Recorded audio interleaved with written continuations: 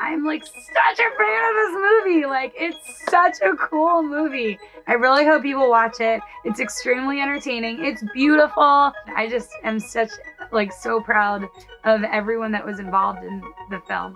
Cause like the whole experience, it never felt real. I like when people ask me, how was it? Was it amazing? And it's hard work. It is not easy. Like any part of this. And everyone that is at that level has worked so hard to get there.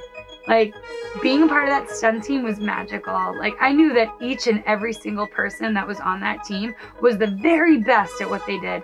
And I'm so grateful to have been on on that side to have seen it happen. But damn, like I really commend each person and each part of the film process because it's really hard work.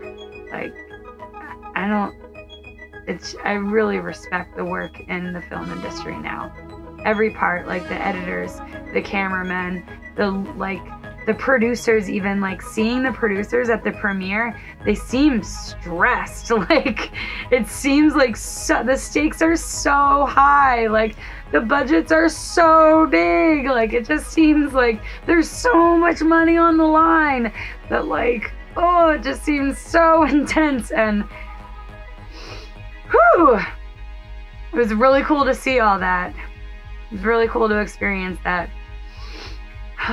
but having a life as a roller skater is it's a little easier.